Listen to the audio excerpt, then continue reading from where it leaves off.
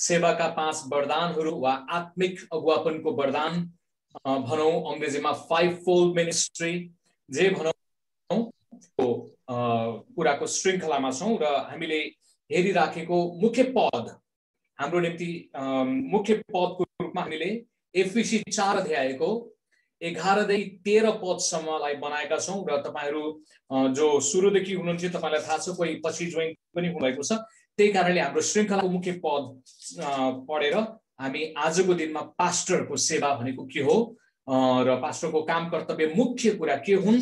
र के के कुरा चाहिँ उसले सुधार गर्न पनि आवश्यक छ त्यो विषयमा पनि हामी कुराकानी गर्नेछौँ। समयको कारणले गर्दाखेरि हामी छिटो पढ्नेछौँ है त ल। एफिसी चार अध्यायको एघारदेखि तेह्र पदसम्म स्क्रिनमा त्यो पद थियो कि थिएन है? छैन होला। ल मैले पढेँ। अनि उहाँका वरदानहरू चाहिँ यिनै थिए कि कोही प्रेरितहरू कोही अगमवक्ताहरू कोही प्रचारकहरू कोही मण्डलीका पास्टरहरू। यो शब्दलाई याद गर्नु हाम्रो आजको चाहिँ पास्टरको बारेमा छ। पास्टरहरू र कोही शिक्षकहरू बनुन्। बाह्र पदमा यसको उद्देश्य छ ताकि सेवाको काममा सन्तहरू को निर्माण सुसज्जित हुन्। कहिलेसम्म भन्दाखेरि तेह्र पदले बताइदियो जबसम्म हामी सबैले विश्वासको र परमेश्वरको पुत्रको ज्ञानको एकता प्राप्त गर्न सक्दैनौँ र परिपक्व मानिस भने ख्रिस्टका पूर्णताको नापसम्म पुग्दैनौँ। अर्को तपाईँले भन्यो भने प्रभु येसुको आगमन नभएसम्म यो दान वरदानहरू जो परमेश्वरले हामीलाई दिनुभएको छ एफिसी चार अध्यायको एघार पद को पाँचवटा वरदान होस् जसलाई हामीले सेवाका पाँच वरदान भनेर मैले शब्द चलाएको छु।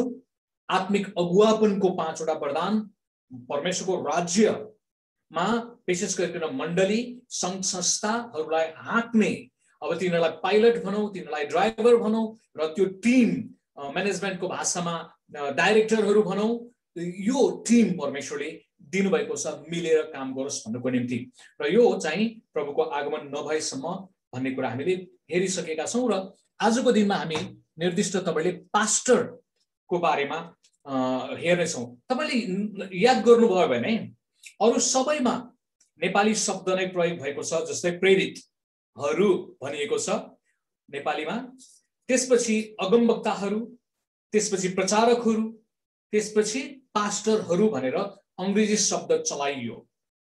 अब यो कुरालाई जनजिब्रोमा अन्तर्राष्ट्रिय तपाईँले रेडियो टेलिभिजन कम्प्युटर भने जस्तै एउटा वैज्ञानिक शब्दहरू हो र युनिभर्सल्ली मान्छेले स्वीकार गरेको छ। त्यो कारणले गर्दाखेरि पनि होला तर सही शब्द राख्नु थियो भने त्यो सही शब्द चाहिँ अब नेपालीमा गरेको भए चाहिँ पालक भन्ने शब्द हुन्थ्यो है पालक। यो पास्टरलाई पालक जो चाहिँ पालन पोषण गर्ने जतन गर्ने भनेर भन्न सकिन्छ। तर अर्को शब्दमा गोठालो हो।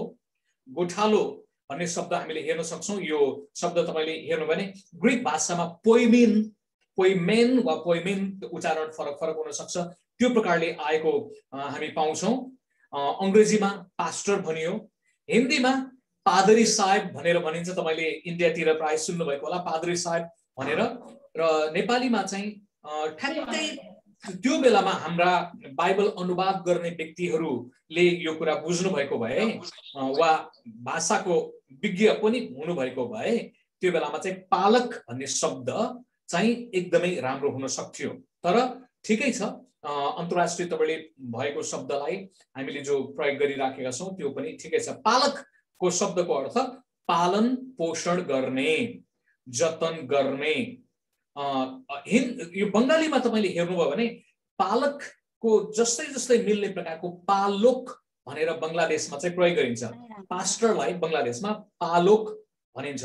पालोक भनेको जसले सही तपाईँले भन्यो भने पालक भन्न मिल्थ्यो।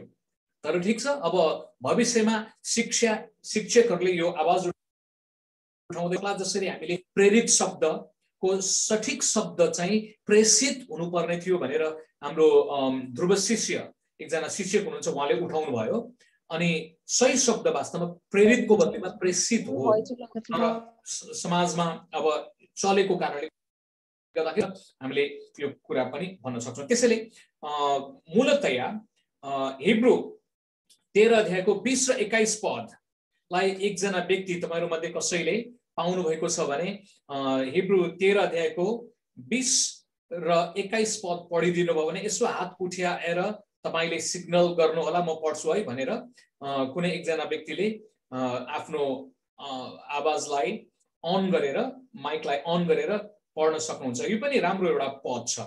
यसु प्रभु चाहिँ हाम्रो महान गोठालो प्राणको गोठालो पास्टरहरूको पनि पास्टर वा गोठालाहरूको पनि गोठालो पालकहरूको पालक वा पाद्री साहेबहरूको पनि पाद्री साहेब माथिल्लो चरणको उच्च कोठीको पास्टर हुनुहुन्छ भन्ने कुरा यो पदले बताउँछ। कसैले पाउनु भएको भने पढ्ने है त हिब्रो तेह्रको बिस र एक्काइस पद।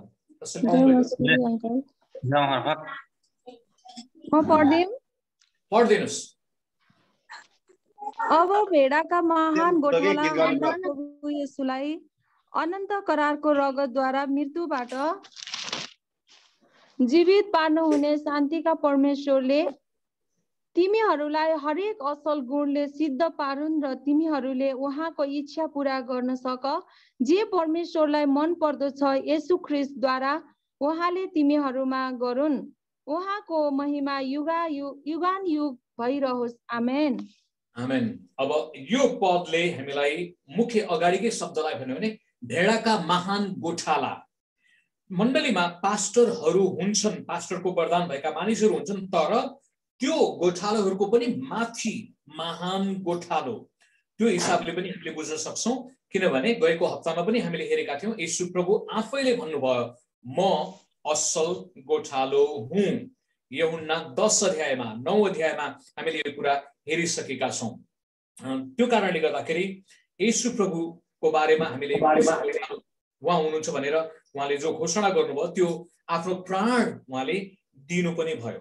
अब हामी झट्टै गोठालो वा पास्टरले पालकले गर्ने महत्त्वपूर्ण चारवटा कुराहरूलाई हेर्नेछौँ। उसको चारवटा महत्त्वपूर्ण कामहरू four different important works of a pastor है? उसले गर्ने काम। अब यहाँ पास्टर भनेर भन्दाखेरि हामीले के कुरा बुझ्न आवश्यक छ भने एल्डरहरू भनेको पनि वास्तवमा पास्टर नै हो है? थियोलोजिकल्ली हामीले बुझौँ बाइबल स्कुल कलेजमा पढ्ने हरेक व्यक्तिले बुझ्नुहुन्छ एल्डरहरू भनेको पनि पास्टर हो। तर नेपालमा चाहिँ पास्टरलाई मात्रै पास्टर भनेर बुझिरहेको छ त्यसैले यो चाहिँ एल्डरहरूको पनि काम हो भनेर हामीले बुझ्नुपर्छ। त्यसैले पहिलो नम्बरको काम वचनको चरणमा चराउने चराउने उसले ग्रेज गर्छ। वास्तवमा अङ्ग्रेजी शब्द पास्टर भन्ने शब्द जो आएको छ नि त्यो चाहिँ पास्टर भन्ने शब्दबाट आउँछ। पास्टर भनेको खर्क हो। त्यो तपाईँले हरियो परियो देख्दै हुनुहुन्छ। पास्टरले हरियो खर्कमा मूलतया त्यो चौरमा भेडा बाख्राहरूलाई चौपा चौपायाहरूलाई चराउने काम गर्नुहुन्छ। त्यसैले पास्टरले वा अगुवाले एल्डरहरू पनि मण्डलीको एल्डरहरू पनि पास्टरको वरदानै हो।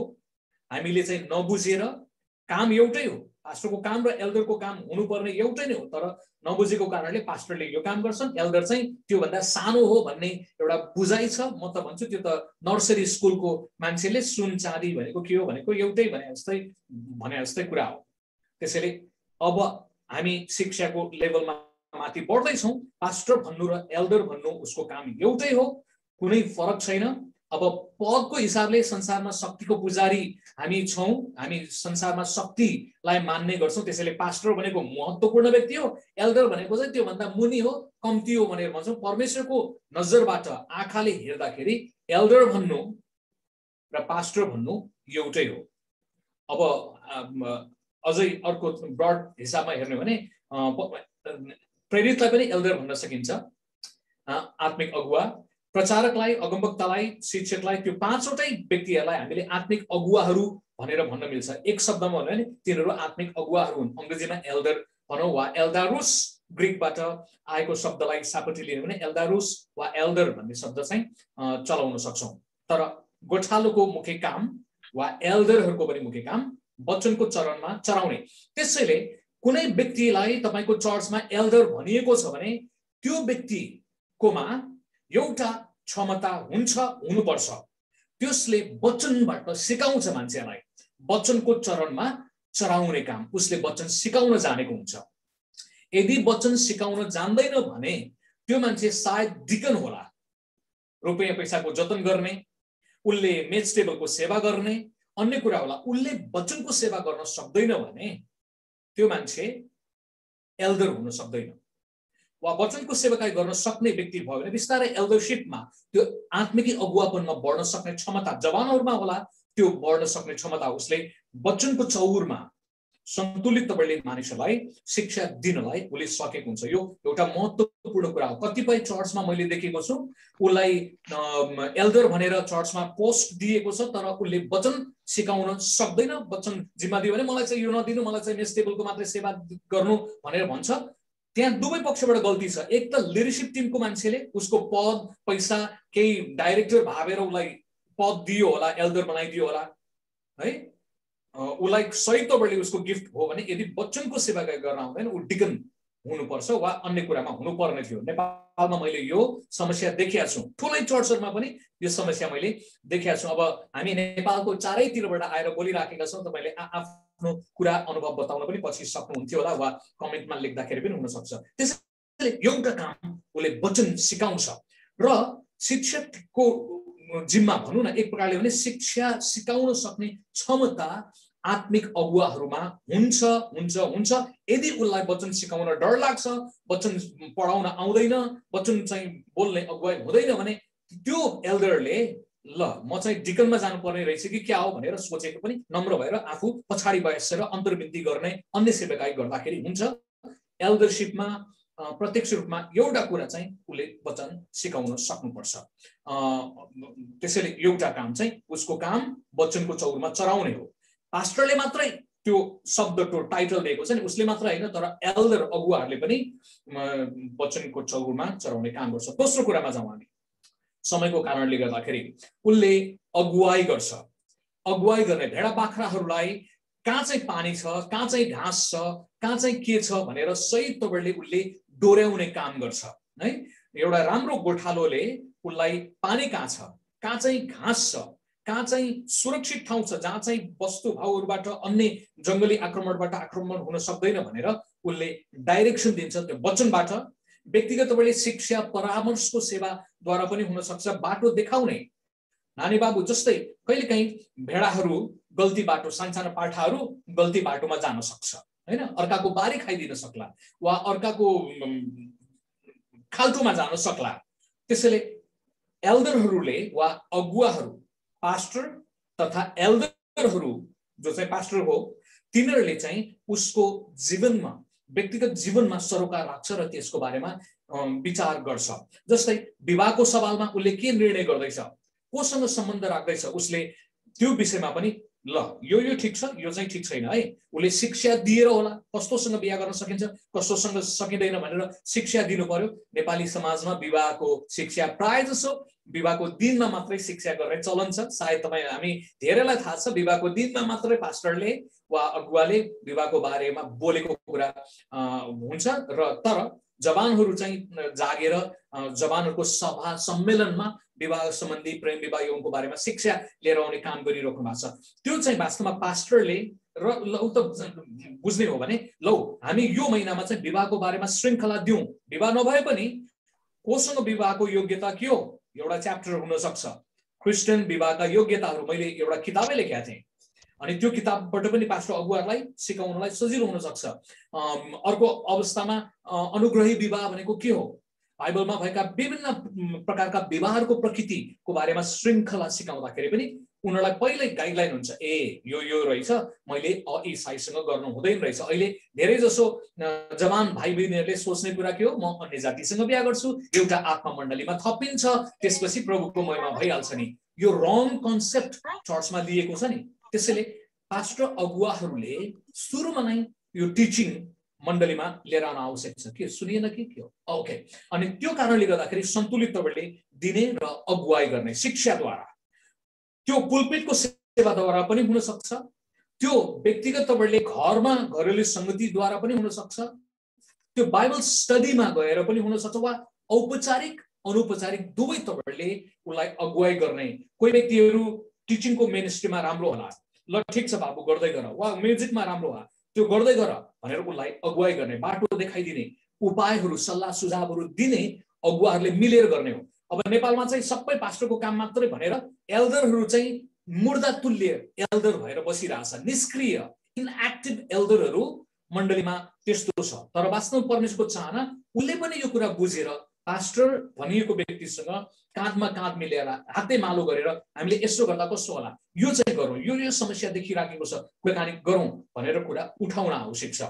त्यसैले अगुवाई गर्ने उसलाई यो ठिक छ ठिक छैन उसको कहिलेकाहीँ बिहा गर्ने उमेर पुगिसकेको हुन्छ जोडिएको अभाव भइराखेको छ भने बाटो देखाइदिने गाइडलाइन गर्ने अरूसँग कनेक्सन गराइदिने विभिन्न तवरले हुनसक्छ। अब यो पनि अगुवाई गर्ने पर्सनल काउन्सिलिङ अमेरिकाको टिचिङ सवालमा भने चाहिँ पुलपिटबाट एउटा छ र फोनबाट काउन्सिलिङ मिनिस्ट्री भन्ने कुरा छ गाइडलाइन त्यो चाहिँ नेपालमा त्यत्तिको काउन्सिलिङ मिनिस्ट्री चाहिँ छैन। व्यक्तिगत तवरले घरमा गएर घरेलु सङ्गतिमा भेटेर सल्लाह सुझाव अर्थीको रूपमा दिने चलन चाहिँ छ। Personally one and one American युरोपतिर चाहिँ बढी वान एन्ड वान पास्टरसँग टाइम लिएर म यो समय उसको बुकिङ हुन्छ। त्यो समयमा भनेर विश्वासीहरू पास्टरकोमा गएर भेट्ने काउन्सिलिङ लिनेछ। तर नेपालको एउटा राम्रो कुरा चाहिँ नेपालको पास्टर अगुवाहरू प्राय घर घरमा जाने विश्वासीको घरमा भेट्ने त्यो चलन गरिरहेछ त्यो राम्रो पक्ष नै हो। त्यसै अगुवाई गर्ने एउटा महत्त्वपूर्ण शिक्षाद्वारा सल्लाहद्वारा बाटो देखाउने व्यवहारिक जीवनको लागि पनि कहिलेकाहीँ कुन चाहिँ विषय पढ्ने भनेर मान्छेलाई थाहा नहुन सक्छ। है प्रार्थना सहित पास्टरलाई वा अगुवालाई त्यो थाहा छैन भने एक्सपर्ट मान्छे चर्चमा हुन्छ नि। त्यो व्यक्ति ल्याएर कुन चाहिँ विद्यार्थीले कुन चाहिँ पढ्दा राम्रो हुन्छ के फाइदा हुन्छ भनेर त्यो प्रकारको एउटा छुट्टै स्टुडेन्ट्सहरूको बिचमा काउन्सिलिङ दिने प्रकारले कक्षा गर्दाखेरि पनि राम्रो हुनसक्छ। त्यसैले त्यो व्यावहारिक प्रकारको कुरामा पनि कदम चाल्नु पर्ने हुन्छ। हामी तेस्रो कदममा जाउँ है त। तेस्रो कदममा अर्को एउटा महत्त्वपूर्ण कुरा भनेको त्यो तेस्रो रक्षा गर्ने। भेडाहरूको रक्षा गर्ने रक्षा वा सुरक्षा गर्ने। पहिलो कुरा त प्रार्थनाद्वारा नै हो। प्रार्थना गरेर अन्तर्विन्ती गर्ने प्रार्थना गर्ने अगुवाहरूले। अब कुनै कुनै चर्चको एल्डरहरू वचन सिकाउनलाई कमजोर भए पनि उनीहरू प्रार्थनाको क्षेत्रमा चाहिँ राम्रो हुनसक्छ। त्यो एउटा सबल पक्ष हो। त्यो प्रार्थनाद्वारा रक्षा गरिदिने पास्टर अगुवाहरूले वा पास्टर अगुवाहरूले चर्चमा त्यो प्रेयर इन्टरसेसन टिमलाई बिल्डअप गरेर पनि ल है फलानु व्यक्तिको निम्ति प्रार्थना गरौँ भनेर गर्नु राम्रो कुरा हुनसक्छ उसको आवश्यक पर्यो भने घरैमा गएर पनि गर्न सकिन्छ। ती कुराहरू प्रार्थनाद्वारा हुनसक्छ। शिक्षाद्वारा अगाडिको बुदामा पनि मैले बताएँ अगुवाई गर्ने निर्देशन गर्ने। शिक्षा चाहिँ धेरै अगुवा सँग जोडिएको यो पास्टल गिफ्टसँग टिचिङ चाहिँ एकदमै जोडिएको छ। चाहे औपचारिक शिक्षा होस् चाहे अनौपचारिक शिक्षा। औपचारिक भनेर भन्दा पुलपिटबाट वा यसरी मैले अहिले युट्युबबाट पनि गरिराखेको छु वा सोसियल मिडियाबाट हामीले जुमबाट क्लास गरिरहेको छौँ। फर्मल प्रकारको एजुकेसन भयो। बाइबल स्टडी फर्मल भयो तर इन्फर्मल घरले सङ्गतिमा हुनसक्छ। हामी सँगै हिँड्दै गर्दाखेरि हुनसक्छ। यसु प्रभुले दुवै प्रकारको टिचिङलाई प्रयोग गर्नु भएको छ नि। त्यसैले हामीले त्यो कुरा गर्न सक्छौँ। अर्को कुरा गल्ती गर्दा गोपनीयताको सुरक्षा गर्ने। कहिलेकाहीँ भेडाहरूले एउटा भेडाले अर्कोलाई बेडाङ बेडाङ हिर्काइराखेका हुन्छ। एउटा भेडाबाट अर्को भेडालाई बचाउनु पर्ने हुन्छ। अनि कहिलेकाहीँ त्यो भेडालाई हामीले प्राय के गर्छौँ म मेरो घरमा भेडाहरू छ है भेडा भन्नाले खसी बोकाहरू छ। कोही कोही बाख्रीहरू विशेष गरिकन मैले यसो याद गरेको बाख्रीहरू अलिकति त्यो बुढी माउहरूले चाहिँ अरूलाई बढी पेल्छ बोकाहरूले हिर्काएको देखिनँ मैले खसीले पनि हिर्काएको देखिनँ। तुलनामा प्राय हिर्काउने ठोक्ने चाहिँ बुढी बाख्रीहरू हुँदो रहेछ। अब दुःखको कुरा नेपालको मण्डलीलाई राम्रोसँग याद गर्ने भने महिलाहरूले महिलाहरूलाई महिलाको विरुद्धमा धेरै बोल्ने र बिगार्ने काम चाहिँ महिलाहरूले गरिरहेछ बुढी बाख्रीहरूले हाम्रो गोठमा दुःख दिए जस्तै अब तपाईँहरूकोमा के छ मलाई थाहा भएन तर मैले चाहिँ हाम्रो चर्चमा पनि यसो हेर्दाखेरि कहिलेकाहीँ यो महिलाहरू बाटो बढी समस्या आएको छ। अर्कालाई ठुङ्ने पिट्ने के के बोल्ने चाहिने नचाहिने कुराहरू बोल्ने। त्यसैले बुढी बाख्रीहरूको सिङलाई कहिलेकाहीँ मुख्य अगुवाले ऐ त चुप लाग है। तैँले चाहिँ बढी बोल्नु हुँदैन वा तैँले चाहिँ सञ्चालन नगर भनेर त्यो जिम्मेवारी नदिने वा उसलाई त चाहिँ होसियारी गर भनेर भनिदिनु पनि पर्छ। मैले हाम्रो चर्चमा कतिपय व्यक्तिहरूलाई त्यस्तो पनि गर्नु पर्यो। उसले सञ्चालन गर्दाखेरि कता कता घोचेको अर्कालाई हिर्काइराखेको त्यो बुढी बाख्रीले हिर्का जस्तै गर्न थाल्यो। त्यसैले मूल अगुवाले त्यो पनि याद गर्न आवश्यक छ र कहिलेकाहीँ महिलाले मात्र होइन पुरुषले पनि त्यो अर्कालाई ठुङ्ने घोस्ने काम गरिरहेको छ भने त्यसलाई पुलपिटको मिनिस्ट्री सेवा नदिनुपर्छ। तिम्रो व्यक्तिगत समस्या त्योसँग मिलाऊ है यसरी सबैलाई पुलपिटबाट हान्ने काम चाहिँ ठोक्ने ठाउँ चाहिँ तिमीले बनाउनु हुन्न भनेर मूल अगुवाले त्यो त्यसको गल्ती गर्यो भने त्यसैलाई सुटुकै सम्झाउनु पर्यो। र त्यसले गल्ती गरेछ भने कहिलेकाहीँ हामीले ए एउटा प्रार्थनाको विषय फलानुले जाँड खाएर बुढी पिटेछ भनेर चर्चबाट हामीले पुलपिटबाट भन्छौँ नि त्यो कुरा भन्नु हुँदैन। त्यो चाहिँ सुटुक्कै त्यो घरमा मात्रै प्रार्थना गर्ने घरमै सम्झाउने ए बाबु नगर यस्तो चिज भनेर राख्ने हो। वा भनिहाल्यो भने तपाईँले अर्कै प्रकारले भन्न सक्नुहुन्छ। कहिलेकाहीँ हामीले प्रार्थना गरिदिनुहोस् नाममा उसको पोल खोलिदिइरहेको हुन्छ। त्यसैले त्यो पनि गर्नु हुँदैन। व्यक्ति तोकेर अब ठुलो समुदायमा चाहिँ एउटा यस्तो समस्या आयो। हामीले यसरी ट्याकल गऱ्यौँ भन्न त मिल्छ तर सकभर व्यक्तिलाई नतोकिकन नाम नलिकन शिक्षाको सवालमा तपाईँले उदाहरणहरू प्रयोग गर्नलाई चाहिँ मिल्न सक्छ। गल्ती गर्दा गोपनीयताको सुरक्षा गर्ने। अब रक्षा गर्ने सवालमा तपाईँले यौन आठ अध्याय पल्टाइराख्नुहोस्। घरमा तपाईँले हेर्न सक्नुहुन्छ। यौन आठ अध्यायमा यसु प्रभुको चरणमा मानिसहरूले एकजना बेविचारमा पक्रा परेकी स्त्रीलाई पक्रेर ल्यायो सम्झनुहोस् त्यो ठुलो चर्च हो। यसु पास्टर हुनुहुन्छ र अरू लिगलिस्टिक स्पिरिट भएका यौदी फरिसी शास्त्रीहरूले ए प्रभु तपाईँले के भन्नुहुन्छ? व्यवस्थाले त भन्छ यस्तोलाई त ढुङ्गाले हानेर मार्नु भनेको छ। तपाईँ के भन्नुहुन्छ? कहिलेकाहीँ मुख्य अगुवामा यो समस्या आउन सक्छ। अब के गर्ने? पुरानो नियम मान्ने कि वा ट्रेडिसन मान्ने कि नयाँ चिज के गर्ने? अनि यसु प्रभुले बडो टेक्निकल्ली यहाँ त्यो व्यक्तिलाई रक्षा पनि गर्नुभएको छ नियमलाई पनि रक्षा गर्नुभएको छ व्यक्तिलाई पनि रक्षा गर्नुभएको छ। पास्टरले नियम कानुन सिस्टमलाई पनि रक्षा गर्ने हो। तर व्यक्तिलाई पनि रक्षा सुरक्षा गर्ने हो। त्यसैले यो कुरा यो गर्न आवश्यक छ यसु प्रभुले सबै मानिसहरूलाई उनीहरूको आशा थियो अब यसुले ढुङ्गाले हान भनेर भन्छ। पुरानो नियमको कट्टरपन्थी विचारमा जान्छ भन्ने सोचाइ थियो उनीहरू हान्न तयारी थियो। यसु प्रभुले तिनी भन्नुभयो ठिक छ तिमीहरू मध्ये जो पाप रहन्छ त्यसले नै पहिलो ढुङ्गा हान्नुहोस्।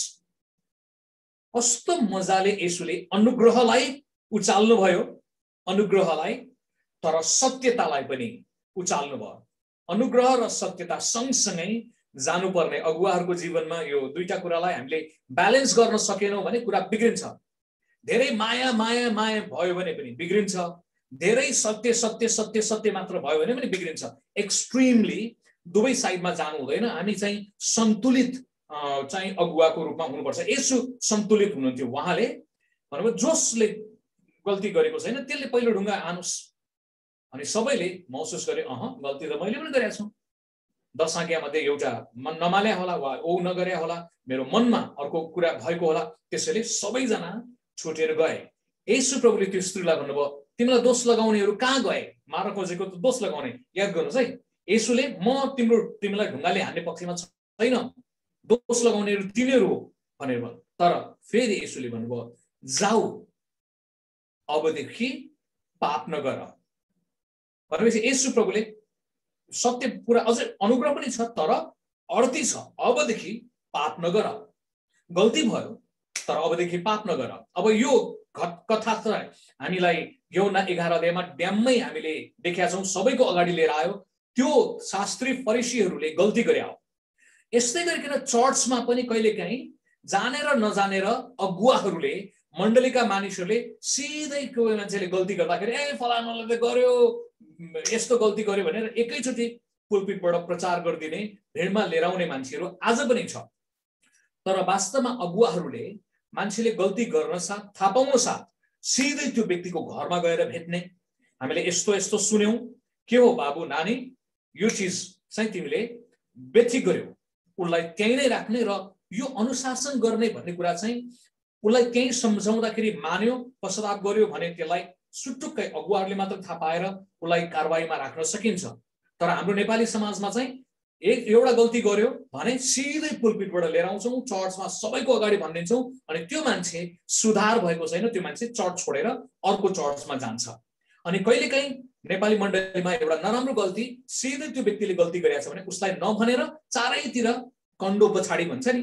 कन्डो पछाडि कुराकानी गर्ने। अगाडि चाहिँ ए बा तपाईँ त अब्राहम बाजे हो तपाईँ आशिषित जन हो भनेर चाकडी गर्ने। कन्डो पछाडि चाहिँ त्यही मान्छेले लात्ती हान्दै हिँड्ने परिपाटी हाम्रो सानो ठुलो चर्चमा एकदमै देखिएको छ।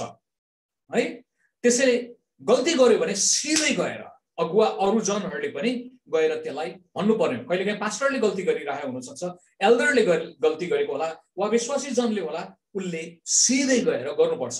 अब बाइबलको प्रोसेस छ पहिला एकजना मात्र जाने सुटुक्कै मुख्य अगुवा गएर त्यसैलाई भन्ने त्यसले मानेन भने दुईजना जाने भने छ यसु प्रभुले सिकाउनु भएको मत्ती अठार अध्यायतिर होला सायद हामीले त्यो प्रोसेसको बारेमा पनि सिक्न सक्थ्यौँ। त्यसपछि अझै मानेन हटी भयो भने मण्डलीकोमा बल्ल तेस्रो चरणमा लिएर आउने हो।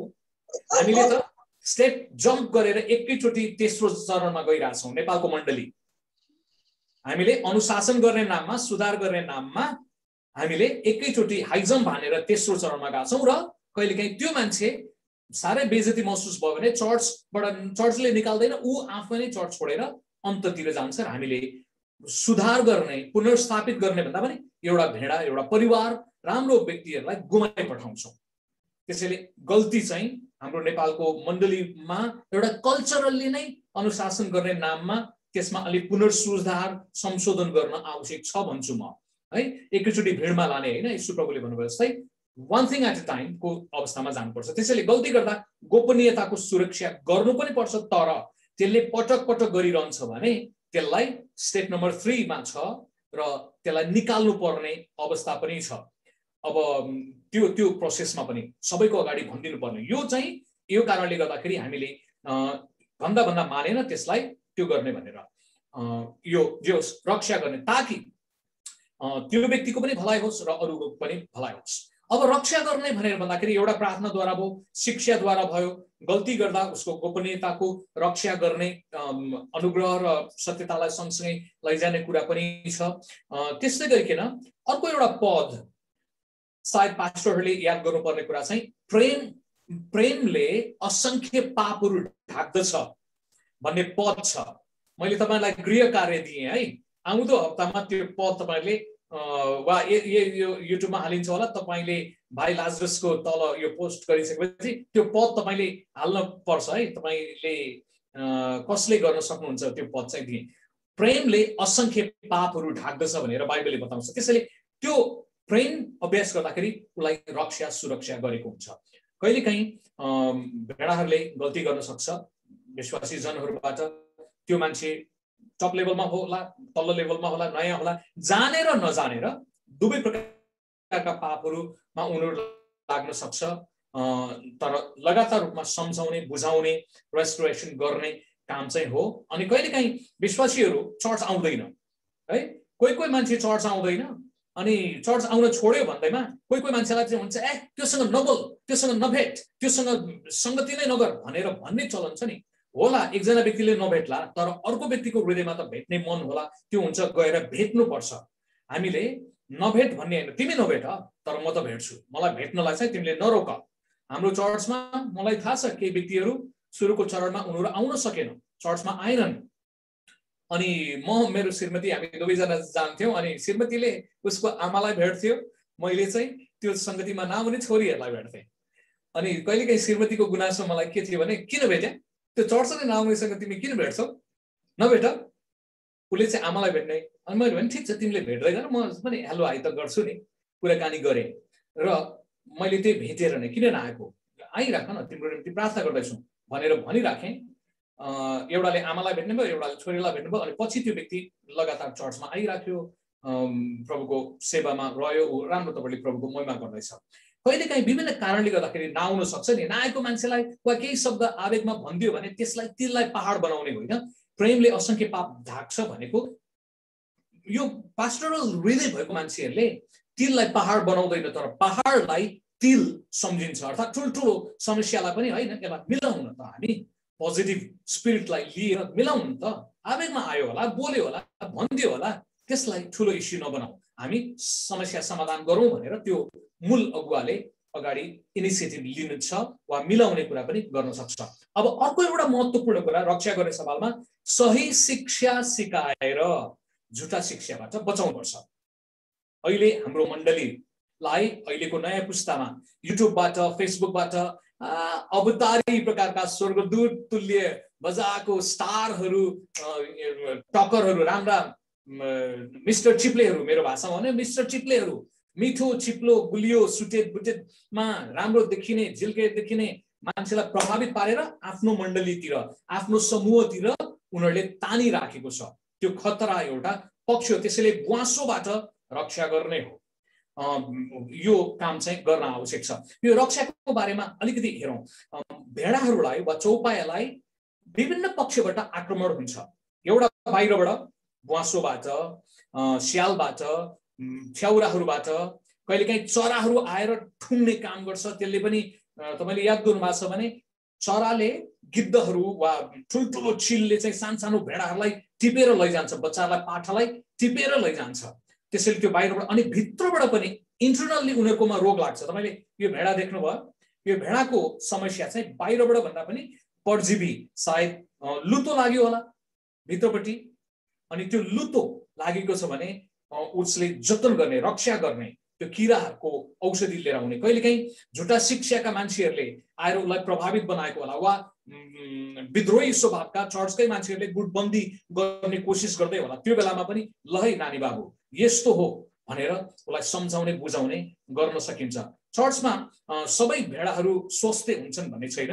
उनीहरू कमजोर हुनसक्छ कमजोरलाई अलिकति जतन गर्ने मद्दत गर्ने काम चाहिँ गर्नुपर्छ। अब भित्र परजीवीहरू हुन्छन् जुका किर्नाहरू हुनसक्छ अर्कोलाई हेरौँ हाम्रो केही छ भने जुका किर्नाहरूबाट हुनसक्छ तपाईँले इजरायलको यो चित्रहरूलाई हेर्नुभयो भने त्यसको तपाईँले यो भेडाको टाउकोमा प्राय जसो एउटा प्रकारको झिङ्गाहरू आएर त्यहाँ फुल पार्ने काम गर्थ्यो वा त्यसमा नै गुण बनाउने काम गर्थ्यो। अनि भजन तेइस अध्यायमा दाउदले के भन्छ भने परम प्रभु मेरो गोठालो हुनुहुन्छ अनि उहाँले मलाई तेलले मेरो शिरमा अभिषेक गर्नुहुन्छ भनेर भनेको छ। मैले फोटो राखेको थिएँ यहाँ। कहाँ फोटो आएन होला खोज्दै गर्नु त भाउ मिल्छ भने फोटो। त्यो चलन चाहिँ के हो भने वास्तवमा अभिषेकको तेल भनेर हामीले यतातिर बुझ्छौँ तर इजरायली समाजमा तपाईँले त्यसलाई अलिक राम्रोसँग याद गर्यो भने त्यो किराहरू आउँथ्यो। किराले टाउकोमा नै गुण बनाउने त्यसलाई दुःख दिने अनि बिस्तारै त्यहाँ कानतिर पसेर त्यो टाउको नै कुहिने बनाइदिन्थ्यो। तर इजरायलको गोठालोले के गर्थ्यो भने तेल उसको टाउकोमा खनाउँछ भेडाको टाउकोमा अनि त्यो टाउकोमा खनाएको तेलले गर्दाखेरि दुई तिनवटा काम गर्छ। एक त्यहाँ हुने बास्ना जो छ त्यो बास्ना किराहरूलाई मन पर्दैन त्यो झिङ्गालाई मन पर्दैन। र त्यसले एन्टिसेप्टिकको रूपमा काम गर्छ। त्यसलाई टाउकोलाई सुरक्षा गर्थ्यो र त्यसले त्यहाँ आएर गुड बनाउन पाउँदैन थियो। र त्यो भाग्थ्यो वा बसिहालेको त्यो त्यसले अन्डा पारेको छ भने त्यो अन्डा मर्थ्यो त्यहाँ नै। अर्को कुरा त्यो बस्दा बस्दै कहिले काहीँ त्यो चिप्लो भएर त्यसले अन्डा पार्न पनि नसक्ने अनि बस्न पनि नसक्ने गन्धले नै भागिहाल्ने काम। सुरक्षा त्यसैले परमेश्वरले असल गोठालोले के गर्छ? अहिले हाम्रो शिरलाई अभिषेक गर्ने कसरी त भन्दाखेरि सैतानले सबैभन्दा बढी आक्रमण गर्ने कहाँ हो। शरीरमा त होइन पहिला। सबैभन्दा पहिला मनमा नै हो। मनमा नचाहिने शङ्का अविश्वास विभिन्न प्रकारका कुराहरू आउँछन्। त्यसैले उहाँले उहाँको तेलले अहिलेको सन्दर्भमा भन्यो भने पवित्र आत्माको तेलले हामीलाई अभिषेक गर्नुहुन्छ। वचनले हाम्रो टाउकोलाई भर्ने वचनले हाम्रो हृदयलाई भर्ने वचनले गर्ने अनि अगुवाहरूले पनि यो तेल लिटरली हामीले हाल्न नसके पनि वचन हालिदिन सक्छौँ नि। वचन रूपी पानी वचन परमेश्वरको अभिषेक त यो चिजलाई हामीले हाल्छौँ र उनीहरूको यो अभिषेकले तिनीहरूलाई सुरक्षित राख्छ। अभिषेकले सुरक्षा दिन्छ। है त्यसैले हामीले लगातार रूपमा अगुवाहरूले यो कुरा बताइराख्न आवश्यक छ। अर्को चारौँ कुरा महत्त्वपूर्ण कुरा। वास्ता गर्ने फिक्री गर्ने। सानो त्यो घुमाउरो पाराले चार चारवटा पोइन्ट एउटै एउटै कुरामा मिल्दै जान सक्छ। वास्ता गर्ने गोठालोले आफ्नो भेडाको वास्ता गर्छ यी प्रभुले भन्नुभयो म असल गोठालो हुँ असल गोठालोले आफ्नो प्राण भेडाहरूको निम्ति अर्पण गर्छ। गएको हप्तामा पनि हामीले हेरेका थियौँ वास्ता गर्ने।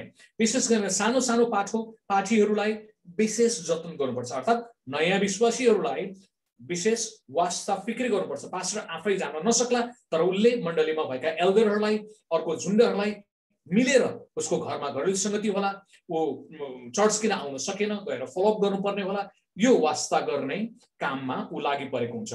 अब यो वास्ता गर्ने विभिन्न पक्षबाट हुनसक्छ बिमारी पर्दा।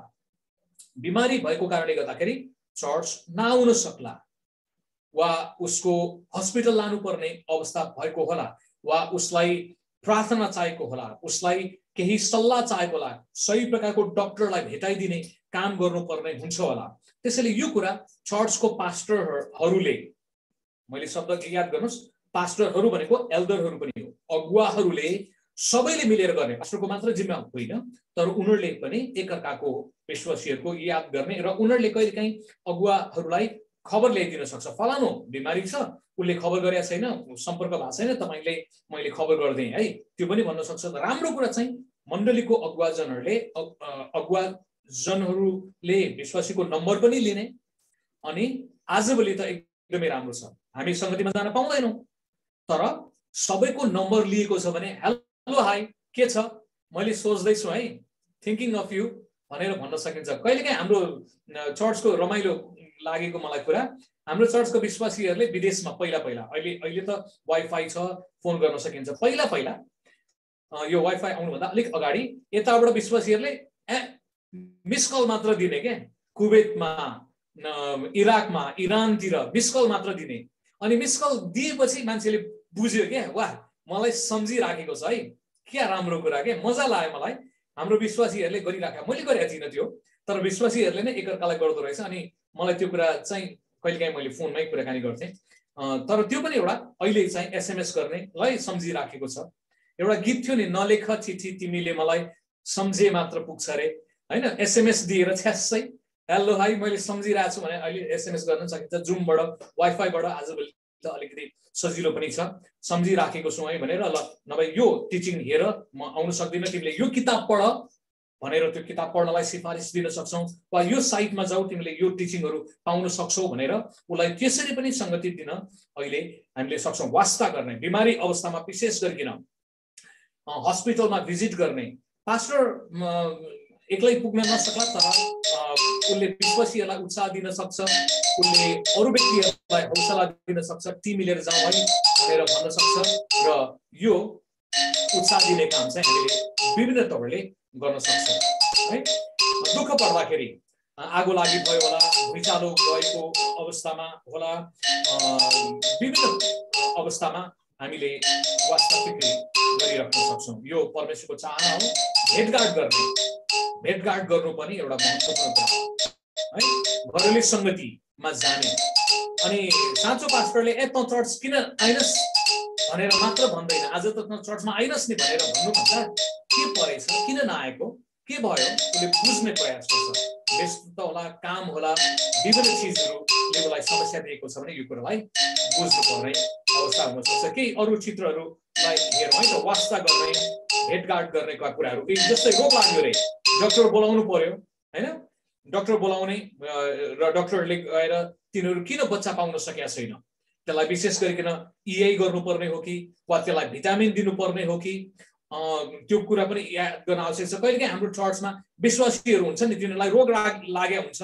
अब त्यो बेलामा चाहिँ एक्सपर्ट चर्चकै मान्छे एउटा व्यक्तिले भन्दाखेरि नभएको छ भने अलिकति कडा प्रकारको चाहिन्छ भने अगमवक्ताहरूलाई बोलाउनु पर्ने हो कि चर्चमा परमेश्वरको डरो वचन लिएर आउने मानिस जसले परमेश्वरको मन र हृदयमा भएको कुरालाई लिएर आउँछ र उनीहरूले त्यो पोलिएको सर्ट हाने जस्तै जतन गरे जस्तै हुनसक्छ आत्मिक तपाईँले त्यो अभिषिक्त जनहरू। कहिलेकाहीँ काउन्सलर्सहरू सल्लाह दिने व्यक्तिहरू उसलाई डिप्रेसनमा गयो अरे ऊ धेरै रिसाएको छ। सामान्य रूपमा हामीले रिसको औषधि प्रार्थना मात्र गर्छौँ तर मनोविज्ञसँग लग्यो भने त्यो रिस किन उठ्यो? अगुवाहरू भेटेर उसलाई कुराकानी गर्न सक्छ। रिस उठ्नुको धेरै कारणहरू हुन सक्छ। है विभिन्न कारणले गर्दाखेरि निन्द्रा पुगेन कि किन निन्द्रा पुगेन? आर्थिक बढी काम गरेर होला। किन बढी काम गर्यो? ऋण छ कि? त्यसलाई कसरी समाधान गर्न सकिन्छ? त्यो ट्याकल गर्ने काम वास्ता गर्ने लिडरसिप टिमले याद गर्नुपर्छ। अब नेपालमा चाहिँ प्रायः जसो पास्टरहरूले नै सबै कुरा गर्नुपर्ने भएको र एल्डरहरू इनएक्टिभ भएको कारणले गर्दाखेरि पनि हामीले चा जानेर नजानेर पास्टरलाई मुख्य व्यक्ति एउटा पोप जस्तो पनि बनाएका छौँ। त्यो एल्डरहरूले नजानेर पनि हो। आफ्नो अधिकार उसले बुझेन। आफ्नो क्षमता उसले बुझेन। उसले एल्डर भनेको के हो भनेर बुझेन नबुझिकन एल्डर भनेर अभिषेक गरिदियो होला उसलाई। त्यसैले अभिषेक गर्नुभन्दा अगाडि वा त्यो नियुक्त गर्नुभन्दा अगाडि राम्रोसँग बुझ्नु पऱ्यो नि एल्डरको जिम्मेवारी काम कर्तव्य के हो भनेर। त्यसैले यदि हामीले अरू व्यक्तिलाई बोलाउनु पर्छ भने बोलाउने होइन? यो कुरा गर्न आवश्यक छ। जस्तै ताकि उनीहरूले यो कुरामा हामीलाई वृद्धि हुनलाई सहायता गर्न सक्छ ल अर्कोमा हेरौँ त अर्को चित्रलाई पनि हामी हेरौँ। पालै पालो। अब पास्टरको निम्ति महत्त्वपूर्ण पदहरू पास्टरको निम्ति महत्त्वपूर्ण पदहरू। पहिलो पत्र चार अध्यायको आठ पद। ए अघि मैले गृह कार्य दिएको यहाँ आइसकेको रहेछ ल। प्रेमले असङ्ख्य पापहरू ढाक्दछ। यदि त्यो मान्छे पास्टर होइन भने उसले पाप गर्यो भन्न सक्छ ए थाहा पायो तिमीले फलानुले त खत्तम गर्यो नि भनेर दुनियाँलाई प्रचार गर्दै हिँड्छ। हल्ला गर्ने व्यक्तिहरू चाहिँ कसैले पाप गर्यो गल्ती गर्यो भने उसले मिलाउने समझदारीमा जानुभन्दा हल्ला गर्दै हिँड्छ। तर साँचो पास्टरले साँचो पास्टरको हृदय भएको व्यक्तिले पाप गर्यो गल्ती गर्यो भने दुनियाँलाई भन्दैन। दुनियाँलाई भन्दैन। है उसले गोप्य नै राख्छ। कहिलेकाहीँ बच्चाहरू सानो छँदा याद गर्नुहोस् न। तपाईँको बच्चाहरू सानो छँदाखेरि पिसाब फेर्थ्यो होला नि त? ओछ्यानमा कतिजनाको ओछ्यानमा बच्चाहरूले पिसाब फेर्थ्यो? यसो हात उठाउँ त। हेरौँ। ल तपाईँलाई अर्को प्रश्न।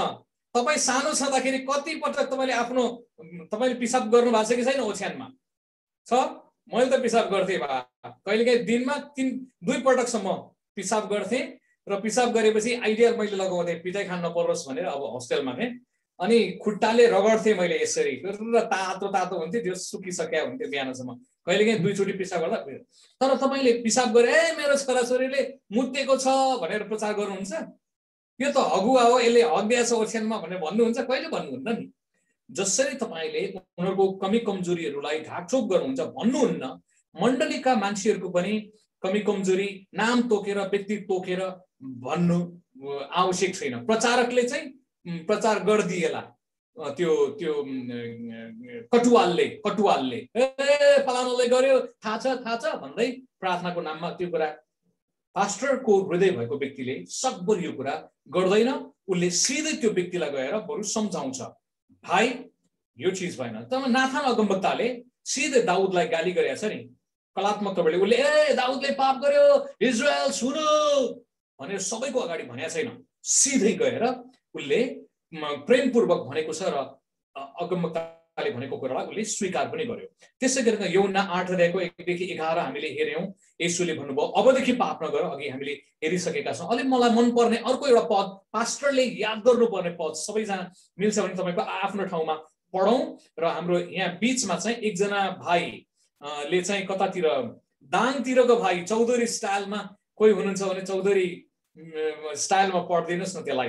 पहिलो यौना एक अध्यायको नौ पद पहिलो यौना एक यौना एकको नौ पद। त्यहाँ पनि पास्टरले याद गर्नुपर्ने एउटा एकदमै महत्त्वपूर्ण पद छ। मलाई लाग्छ कोही पास्टरको हृदय भएको छ भने उसले यो पदलाई एकदमै आत्मा साफ गर्छ। हृदयमा राख्छ मनन गर्छ। है? उसले पाप गर्दाखेरि पनि त्यसलाई सम्झाउने बुझाउनुको निम्ति र आफू पनि क्षमाशीलमा पढ्छ क्षमाको अभ्यास गर्छ र त्यसलाई पनि प्रभुमा हेर। तिमीले गल्ती गर्यौ प्रभुमा हेर। पश्चाताप गर आऊ बाबु हेर यो पदमा तिम्रो आशा छ भनेर एउटा आशाको कुरा। लडेको मान्छेलाई फेरि उठाउनलाई सक्ने सान्त्वना सान्त्वना प्रोत्साहन गल्ती गर्यो अब उठ भनेर उसले ड्याङ ड्याङ ठोक्ने गल्ती गरेकोलाई ठोक्ने काम गर्दैन। हामी नेपाली समाज चाहिँ कहिलेकाहीँ बच्चाहरू लड्यो भने किन लडिस् त? भनेर ब्याङ बुढुङ हिर्काउँछौँ होइन त? हाम्रो नेपाली सिस्टमै गडबड छ कि? जो लडेको त राम्रोसँग हिँड्नु पर्दैन भनेर उसलाई ठोक्ने। अनि कहिलेकाहीँ यही कल्चर यो नानीदेखि लागेको बानीबाट हुर्केको मान्छेहरू चर्चमा आएपछि पनि जन गल्ती गरेकोलाई ड्याम ड्याम हामीले ठोक्ने काम गरेर हुन्छौँ त्यसैले घुमा घुमाके मारा चाहिँ गर्नु मिल्दैन। त्यसैले तपाईँ सिधै गएर गर्नु पर्ने हुन्छ। ल कसैले पाउनु भएको छ भने पहिलो एउटा एकको नौ पद पढिदिउँ नि त। ल चौधरी स्टाइलमा सुन्ने मन छ मलाई। म चाहिँ पानी पिउँछु। त्यो सबैको पिक्चर देखाएको तपाईँलाई। देख्ने ओके ल। कसैले पाउनुभयो? लाजरस भाइ कोही हुनुहुन्छ त्यहाँ? ल छैन भने तपाईँले पढिदिउँ अँ सबिना बहिनीले खोलेछ। सबिना बहिनी Oh, पढ्थ्यो. सबिना सबिना ल पढौँ त नानी। हुन्छ जय मसी सबैलाई। जयमेसी ल। यदि हामीले आफ्ना पापहरू स्वीकार गर्यौँ भने उहाँले हाम्रा पाप क्षमा गर्नुहुन्छ। र सबै अधर्मबाट हामीलाई शुद्ध पार्नुहुन्छ किनकि उहाँ विश्वास योग्य र धर्मी हुनुहुन्छ।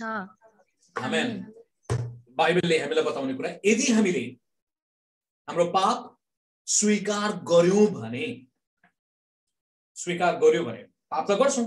मान्छे हो सिद्ध छैन। हामी धर्मी ठहरिएका छौँ तर सिद्ध बनिसकेका छैनौँ। हामी जस्टिफाइड भयौँ तर सेन्टिफिकेसन त्यो पवित्रीकरणमा त बढ्दैछौँ। प्रभु येशूको आगमन नभएसम्म वा मृत्यु नभएसम्म हामी सिक्दै सिक्दै एउटा महिमादेखि अर्को महिमामा बढ्दै बढ्दै जान्छौँ। त्यसैले विश्वासी भयो भन्दामा पर्फेक्ट भयो स्वर्गदूत भयो पापै नगर्ने भन्ने कुरा हुँदैन। जानेर नजानेर उसले मानव हो मान्छेको कारणले पाप गर्न सक्छ। विभिन्न प्रकारको दस आज्ञामा हामी चुक्न सक्छौँ वा अन्य दस आज्ञा बाहेक अन्य कुरामा पनि चुक्न सकौँला। तर त्यो गल्ती गरेको छ भने यो पास्टरले यो कुरा लिएर आउँछ। अगुवाले पास्टरको हृदय छ भने उसले यो पदलाई लिएर आउँछ। हेर बाबु नानी यो पदले भन्छ हामीले गल्ती गर्यो भने पनि ए क्षमा मागौँ सुधार गरौँ र अगाडि बढौँ। तिमीले क्षमा माग। कहिलेकाहीँ उसले पाप गर्दाखेरि परमेश्वरसँग क्षमा माग्नु पर्यो। त्यो कुरा अगुवा शिक्षकहरूले सिकाउँछ। परमेश्वरसँग क्षमा माग्ने उसको परिवारसँग क्षमा माग्ने परिवारको विरुद्धमा गरेको पाप छ भने क्षमा त माग्नु पर्यो त्यसले आरोग्यता चङ्गाई लिएर आउन सक्छ। त्यसै गरिकन यदि मण्डलीको विरुद्धमा गरेको छ भने मण्डलीलाई पनि नम्र भएर मण्डली मैले गल्ती गरेँ म भनेर भन्न सक्छ र उसले आफू एउटा मण्डलीको अनुशासनमा जिम्मेवारी पदमा छ भने म जिम्मेवारी लिन्न भनेर आफैले त्यो लिडरसिप लेभलमा छ भने ब्याक विड्र गरेको राम्रो। वा यदि लिडरसिप लेभलमा छ भने चाहिँ उसको जिम्मेवारीलाई चाहिँ मूल अगुवाहरूले केही समयको निम्ति आफूले खिचेको र अरूहरूलाई दिँदाखेरि राम्रो हुनसक्छ सबैलाई त्यो कारण बताउनै पर्छ भने चाहिँ त्यो कुरा गर्न सकिन्छ। त्यसैले उसले लडेकोलाई सान्त्वना दिने उठाउने। बाइबलमा अर्को एउटा पद पनि छ ल। गृह कार्य चाहिँ मैले भनेको त्यो आउट भइहाल्यो पैसा आउट भयो होइन? अर्को एउटा पद चाहिँ धर्मीजन सात पटक लोट्यो भने पनि उठ्छ भनेको छ। धर्मीजन सात पटक लोट्यो भने पनि उठ्छ भनेको छ। त्यो भनेको के हो? त्यो विभिन्न कुरा होला आर्थिक तपाईँले असफलता होला वा सेवा गर्न जाँदाखेरि कास्टिङ झुर मिसन फिल्ड नै फ्लप हुने होला काम नचल्ने होला वा कहिलेकाहीँ असफल हुनु भनेको कहिलेकाहीँ उसले निशाना चुकाउला पाप पनि गरी पठाउला। लड्यो तर धर्मीजन लड्यो भने पनि उठ्छ खडा हुन्छ र बढ्छ भनेको छ नि त। त्यसैले त्यो कुराले पनि हामी सिद्ध छैनौँ। असिद्ध संसारमा भएको कारणले गर्दाखेरि मान्छेहरू लड्न सक्छ। तपाईँलाई भनिदिउँ विश्वासी मात्र लड्ने होइन।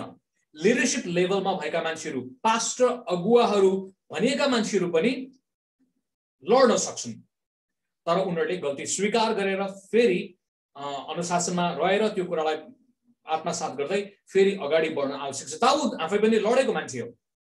दाउदले पाप क्षमा माग्यो र फेरि अगाडि बढ्यो र परमेश्वरले उसको नम्र हृदयलाई क्षमा माग्ने हृदयलाई स्वीकार गर्नुभयो। पास्टरको निम्ति वा पास्टर हृदय भएको मान्छेहरूको निम्ति अर्को एउटा महत्त्वपूर्ण पद छ मर्कुस एकको एकदेखि एघार।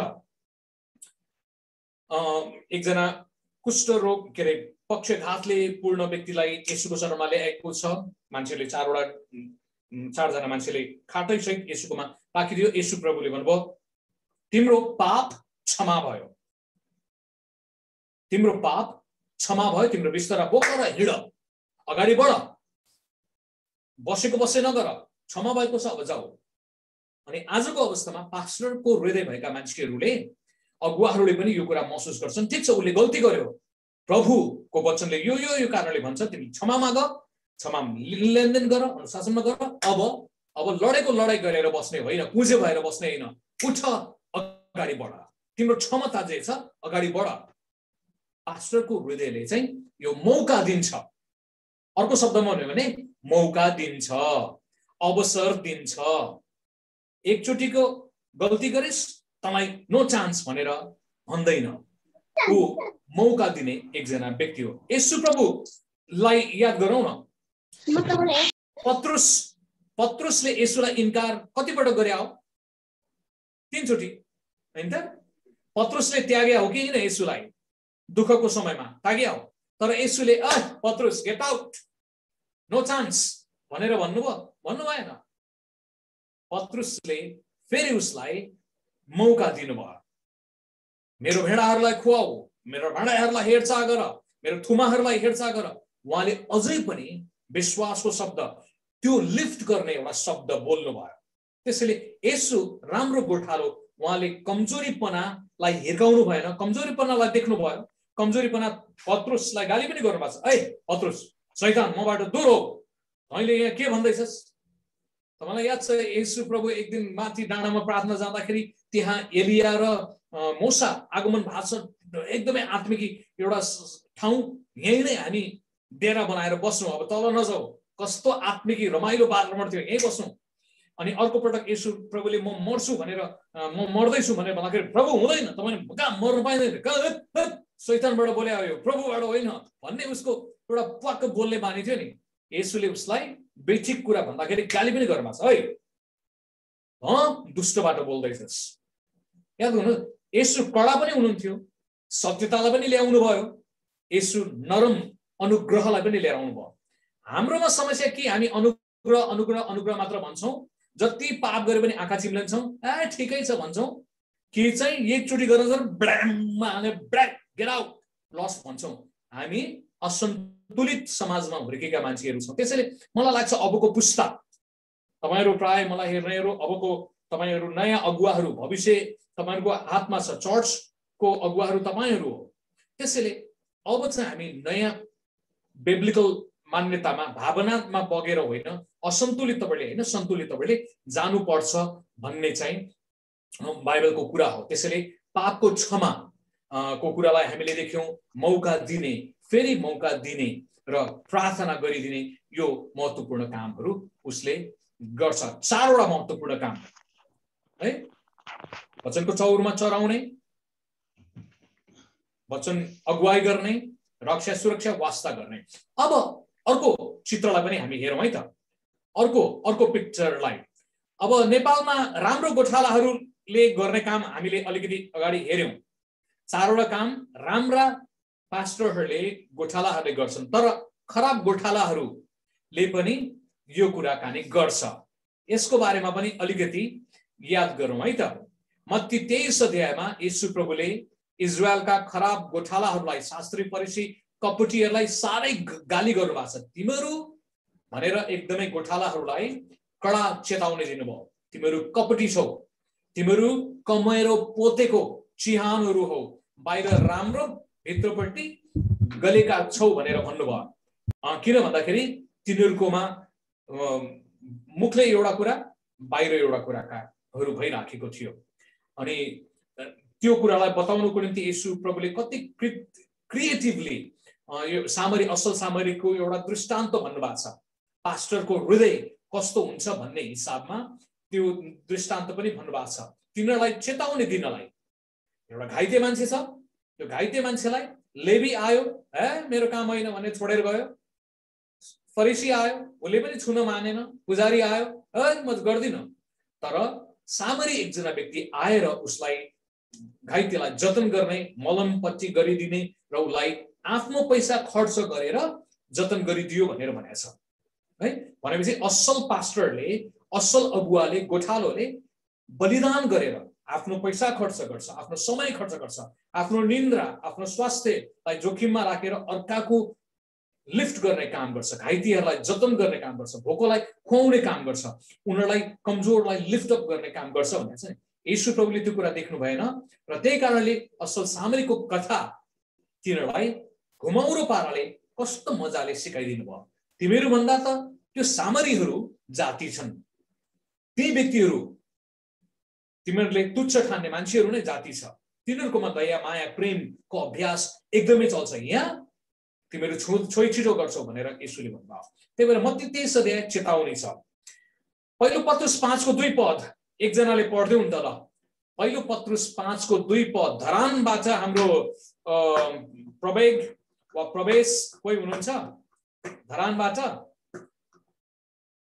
प्रवेग छ भने प्रवेगले पढ्दैनौँ वा धरानबाट कोही छैन भने कोही व्यक्ति तयारी छ भने पहिलो पत्रुस पाँचको दुई पढ्नलाई मैले अनुरोध गरेँ है। यसो हात उठाएर तपाईँले पढिदिनुहोस् न तपाईँ मेरो फोटो त। एकछिन काटौँ त यो पहिलो पत्रुस पाँचको दुई र एजिकेल चौतिसको चार पद पनि अर्कोले पढिराखौँ पल्टाइराखौँ तिमीहरू पनि यसु ख्रिस्टद्वारा परमेश्वरको दृष्टिमा ग्रहण योग्य आत्मिक बलिदान चढाउने पवित्र पुजाहारी गिरीको निम्ति जीवित पत्थरहरू चाहिँ आत्मिक घर बन्दै जाओ। आमेन। बढ्दै बढ्दै जाओ है? शिक्षा अर्थी उपदेशका कुराहरू। एजिकल चौतिसको चार पदमा कडा एउटा सन्देश छ। त्यो पनि हेरौँ न। एजिकल चौतिस तिमीहरू दही खान्छौ तिमीहरू ऊनको राम्रो वस्त्र लाउँछौ। मासु खान्छौ तर बगाललाई चाहिँ वास्तै गर्दैनौ।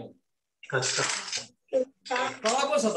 है एजिकल चौतिस दिएको चार पद। त्यसैले पाउनुभयो अर्कोमा जाउँ अँ, फेरि back. तिन पद ल। आउनुभयो? एजिकेल चौतिसको चार। एकजनाले। पढ्दैौ तिन पदमा छ चौतिसको तिनमा। ए ल तिन र चार पद पढ्दैौ त। यहाँ यसरी लेखिएको छ तिमीहरू दही खान्छौ उनको वस्त्र लगाउँछौ मोटा मोटा पशुहरू मार्छौ तर बललाई चाहिँ तिमीहरू वास्तै गर्दैनौ। तिमीहरूले दुर्बललाई बलिया पारेका छैनौ बिरामीलाई निको पारेका छैनौ घाइतेलाई मलमपट्टि लगाइदिएका छैनौ तिमीहरू बाटो बिराएकालाई बाटोमा ल्याएका छैनौ हराएकालाई खोजेका छैनौ। तिमीहरूले तिनीहरूलाई निर्दयता र कठोरता साथ शासन गरेका छौ। भनेपछि खराब गोठालाहरूले चाहिँ यो त्यो चौतिसको तिन र चार पाँच पदलाई याद गर्नुपर्ने हुन्छ। संसारमा धेरै किसिमका पास्टर अगुवाहरू छन्। यस्ता प्रकारका व्यक्तिहरू पनि छन्। खराब गोठालाका लक्षणहरू चाहिँ हामीले हेऱ्यौँ भने उनीहरू चाहिँ पुलपिटबाट प्रचार मात्र गर्न चाहन्छन् चर्च किन आएन भनेर बुझ्ने प्रयास छैन अरे किन नआएको त? आउनु पर्ने थियो। उसले शनिबारलाई मात्रै वा आइतबारलाई मात्रै मुख्य जोड दिन्छ। त्यो राम्रो कुरा होइन। आफै भेट्न जानु पर्यो। दुःख आपतमा छ कि भनेर वास्ता वास्ताको कुरा त्यहाँ हुनु पर्यो। खराब गोठालोले वास्ता गर्दैन। ऊ आफ्नो कुरामा मतलब हुन्छ। आफू मात्र मोटाउने आफू बलियो हुने भन्ने कुरा मात्र गर्छ। अर्काको बारेमा उसलाई बोल्नु अर्काकोलाई लिफ्ट गर्ने उसलाई सरोकार हुँदैन। अर्को कुरा हेरौँ है त खराब गोठालोको। उसले दामको लागि काम गर्छ। यसु प्रभुले भन्नुभयो भाडाका गोठालाहरू भाडाको मलाई पैसा दियो भने म काम गर्छु पैसा दिएन भने गर्दिनँ। मैले पैसा पाएँ भने भेट्न जाने हो नत्र भेट्दिनँ। को आफ्नो पैसा खर्च गरी गरी गर्छ र जोखिम लिन चाहँदैन? फाइदाको निम्ति मात्रै काम गर्नेहरू अगुवाहरू हुन्छन् भने त्यो कुरा राम्रो भएन। त्यसैले कहिलेकाहीँ आफ्नो पैसा खर्च होला। सेवा गर्न जाँदाखेरि ठिकै छ परमेश्वरले दिनुहुन्छ अनि लोभको आत्मामा भर परेर चाहिँ होइन तर म प्रभुले बोलाउनु भएको छ प्रभुले मलाई सेवा दिनु भएको छ म यस यो कारणले गर्छु भन्ने हिसाबमा जाने हो। पैसा पाउँछ तलब पाउँछ भन्ने हिसाबले होइन। अब अलिकति तपाईँलाई जानकारी दिउँ है। अमेरिकामा चाहिँ कस्तो हुन्छ भने प्राय अमेरिकाको धेरै जसो चर्चहरूमा प्राय के हुन्छ भने अलिकति अर्को चर्चमा राम्रो प्रचार गरेको छ टिचिङ गरेको छ भने एउटा अलिक धनी चर्चले त्यो चर्चको पास्टरलाई के भन्छ भने ए पास्टर तिमीलाई कति दिएछ दस हजार डलर दिएछ भने हाम्रो चर्चमा आऊ हामी तिमीलाई पन्ध्र हजार डलर दिन्छौँ। पनि भन्छ। तिमीले त्यो टिचिङ गर। अनि उसले त्यो तलब पन्ध्र हजार डलर पायो भनेर ऊ त्यो चर्चलाई छोडेर यता आउँछ। उसलाई बगालसँगको माया होइन। पैसासँगको मोह हो। अब नेपालमा यस्तो कुरा आइसकेका छैन। एक दुईवटा चर्चमा भर्खरै सुरु भएको छ। जहाँ अरू चर्चमा भएको आराधना अगुवाई गर्ने मान्छे अमेरिकामा त्यस्तो हुन्छ। अमेरिकामा त्यो चर्चमा राम्रो आराधना अगुवाई गर्ने मान्छे छ भने त्यसलाई बोलाएर ए बाबु हाम्रो चर्चमा आऊ आराधना अगुवाई गर। म तिमीलाई आठ हजार डलर दिन्छु। त्यसले तिमीलाई पाँच हजार दिएको थियो भने म आठ हजार दिन्छु। मान्छेहरू सजिलै आउँछन्। पैसाको कारणले सेवा गर्नेहरू। अनि उसले परमेश्वरको आत्मा अनुसार होइन मान्छेलाई खुसी बनाउनलाई गर्ने काम गर्नुहुन्छन् त्यसैले पास्टर अगुवाहरू एल्डरहरू पनि यो हिसाबमा काम गर्ने तलब पाए गर्ने नत्र नगर्ने भन्ने हिसाबमा गर्नु राम्रो छैन। हुन त आजभोलि सङ्घ संस्थाले खटाएका मान्छेहरू तलबकै लागि गर्ने हो। तर तलबबाट गर्ने मान्छेहरूले पैसा पाउन्जेल गर्छ छैन भने छोडिदिन्छ। त्यसैले यो समस्या पनि नेपालमा देखिएको छ पैसाको लागि काम गर्ने होइन तर साँचो पास र अगुवाहरूले चाहिँ बरु आफ्नो खर्च होस् उसले लगानी गर्छ आफू खाँदैन अरूहरूको निम्ति वास्ता फिक्री गरेर बढाउने काम चाहिँ उसले गरिराखेको छ। म तपाईँलाई जानकारी दिउँ भोलि पर्सि हाम्रो नेपालमा पनि नेपालमा पनि अलि राम्रो प्रचार गर्ने मान्छेहरूलाई त्यो चर्चले तलब दिएर बोलाउने सम्भावना म देख्छु। किनभने हाम्रा धेरै जसो मान्छेहरू अहिले नेपालीहरू नै अमेरिकामा युरोपमा गएर बसिरहेछ त्यताको प्रभाव सङ्गत उनीहरूले देखेको कारणले गर्दाखेरि नेपालमा आउन सक्छ। अब यसको शिक्षक अगुवालाई पैसा दिनु त राम्रो हो तर त्यो व्यक्ति चाहिँ पैसै पाउने लोभमा यताउति जानु मण्डली सर्दै जानु सेवा सर्दै जानु चाहिँ राम्रो कुरा होइन। उसले सिधै म अवसरवादी मान्छे हुँ म सेवा भन्दा पनि मेवा मलाई चाहिन्छ भनेर उसले देखाएको हुन्छ त्यो कुरा मान्छेले एक दिन बुझिहाल्छ। होसियारी हुनु पर्यो। ल अर्कोमा हेरौँ। अब कोही मान्छेहरू चाहिँ पोप सिस्टम भनौँ न पदको लोभी पुलपिट मेरो पेवा हो म मात्रै पुलपिटबाट बोल्ने हो अरू कसैले पनि बोल्न पाउँदैन। पुलपिट मेरो हातमा छ। भनेर पास्टरले असुरक्षित पास्टरले पुलपिटलाई आफ्नो पेवा बनाउँछ। तर ऊ पास्टर हृदय भएको छ भने उसले मेरो टिममा अरू पनि एल्डरहरू होला अरू पनि भाइ बहिनीहरू छन् तिनीहरूसँग पनि प्रभुको वचन छ यिनीहरूले पनि सान्त्वना दिन सक्छन् यिनीहरूले सिकाउन सक्छन् भने पुलपिटको जिम्मेवारी तिनीहरूलाई दिन्छ। असुरक्षित पास्टरले पद र पुलपिट आफूले लिइरहन्छ। अझ यसलाई यसरी भनौँ त्यो मान्छे म काठमाडौँमा बस्दाखेरि कस्तो थियो भने काठमाडौँमा बस्ने अनि नेपालको विभिन्न ठाउँबाट आएका पास्टर भन्थ्यो तिनीहरूले आफूलाई तर एक महिना दुई महिनासम्म काठमाडौँमै घुमेर बसिरहन्थ्यो। के गरे थाहा छैन। उसको आफ्नो मण्डली चाहिँ गाउँमा छ अरे पूर्व पश्चिम कतातिर। तर उसले पास्टर भन्छ उसलाई मतलबै छैन। ऊ पदको निम्ति चुनाव आउन थालेपछि मान्छेको मुख्य व्यक्तिहरूसँग सेरोफेरोमा कुराकानी गर्ने अनि त्यो पद पाउनुको निम्ति त्यो मान्छे त्यसरी आफ्नो मण्डली छोडेर त्यहाँ आउँदो रहेछ। चाकडी गर्नलाई भनौँ न। त्यो पनि राम्रो कुरा होइन। फेरि अर्को किसिमको पासहरू मैले देखेका छु। नाम नलिकन भनौँ। पदको लोभी। उसले चर्च छोडेको बिस वर्ष तिस वर्ष भइसक्यो। गाउँ छोडेको बिस तिस वर्ष भइसक्यो। त्यो आफ्नो गाउँमा बस्दैन अनि सहरमा गएर बसिया छ। तर पनि त्यो चर्चको मुख्य पास्टर को हो भन्दाखेरि हो भनेर टोपी चाहिँ पोप सिस्टम चाहिँ लिइरहेछ कि? म चाहिँ त्यहाँको पास्टर हो। महिनामा वर्षमा दुई चार पटक पुग्ला ऊ तर भेडाहरूसँग ऊ छैन। भेडाहरूको नाम थाहा छैन होला। भेडाले के खान्छ कसो छ थाहा छैन। ऊ सरर जान्छ प्रचार प्रसार गर्छ र फेरि फर्केर आउँछ। त्यो नामधारी पदको लोभी पास्टर हो त्यो। त्यसैले मलाई लाग्छ हाम्रो अब यो नयाँ पुस्ताले यो कुरा बोल्नुपर्छ। हामी पदको लोभी पुलपिटको लोभी यो पास्टर अगुवाहरू बन्नु हुँदैन। हामी सेवामुखी हुनुपर्छ पदमुखी होइन। यस्ता मान्छेहरू पनि मैले देखेको छु र समूहमा यस्तोले काम गर्न चाहँदैन। डाडु चम्चा पन्यौ सबै आफ्नो निर्णय। उसले अरूलाई काम दिया होला तर जिम्मेवारी दिन्छ अधिकार दिँदैन यस्तोले। जिम्मेवारी दिन्छ अधिकार दिँदैन। असुरक्षित पदको लोभी पास्टरले। अनि सबैले उसलाई मात्रै हेरिरहन्छ उसले मात्रै गर्नु भन्ने एउटा सोचाइ हुन्छ यो पनि बेठिक मानसिकता हो। अर्कोमा जाउँ है त। हामीले अलिकति सुधारवादी कुरा पनि हेर्दैछौँ। अर्काको भेडा चोर्ने पास्टरहरू गोठालाहरू पनि छन्। अब नेपालमा अहिले ठुलो एउटा चोरीको कुराहरू आउँदैछ। ऐ हाम्रो चर्चमा आयो भने तिमीहरूलाई म तिमीहरूको बालबच्चालाई स्कलरसिप मिलाइदिन्छु। चिल्ड्रेन होममा राखिदिउँ होला वा जागिर दिउँ होला यो गरौँला भनेर भेडा चोरेर लिएर आउने। बिचरा कति मेहनत गरेर हुर्काएको छ बढाएको छ तर अन्तमा आएर ललिपप देखाएर गर्छन् अनि भेडाहरू पनि जहाँ खान पायो हरियो देख्यो त्यहाँ गइहाल्छन्। भेडाहरूको पनि कमजोर हो आफ्नो गोठलाई नचिन्ने आफ्नो आत्मिकी बाबुआमालाई नचिन्ने अनि नयाँ बाबुआमा बनाउने। अहिले त युट्युबमा नयाँ बाउ आमा बन्ने भन्ने चलन छ नि प्रेरितहरू रे क्या।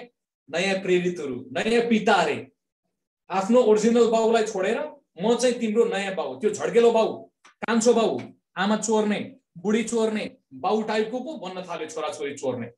यो चोर पास्टरहरूबाट प्रेरितहरूबाट हामीले बचाउनुपर्छ। भेडा चोर प्रेरितहरू पनि छन् अहिले। युट्युबबाट ए वचन गर्छन् चर्चमा नजानु तपाईँहरूको दसौँ बेटी हामीलाई पठाइदिनु भन्छ। जमानादेखि बिचरा पास्टरहरूले मेहनत गरेका छ जतन गरेका छ अनि युट्युबबाट मिठो मिठो गफ गरे अनि हाम्रोमा आऊ हामीलाई देऊ भनेर भन्छन्। लाजै नमानिकन। त्यसैले पास्टर अगुवाहरू पनि छन्। संस्थाहरू एउटै चोर संस्था नै ड्याममै लैजाने हो। एकैसम्म एउटा सम्प्रदायमा थियो आज अर्कै सम्प्रदायमा हुन्छन्। पैसा दिएर। भेडा मात्रै छोड्दैन उसले त गोठाला हिजोसम्म एउटा चर्चको नाम ब्याप्टिस्ट थियो भने अब अहिले अर्कै चिज नाम भइरहेको हुन सक्छ। आफ्नो ओजन नभएको अवस्थामा विश्वासीहरू पनि ओजन नभएको अवस्थामा त्यो हलुको बतासले उडाएर लैजाने जस्तै हुनु हुँदैन। हामी दह दरो गहकिलो व्यक्तिहरू हुनुपर्छ भनेर बाइबलले सिकाउँछ। त्यसैले भेडा चोरबाट पनि बचाउने काम पास्टर अगुवाहरूको हो। अर्को हेरौँ। ल।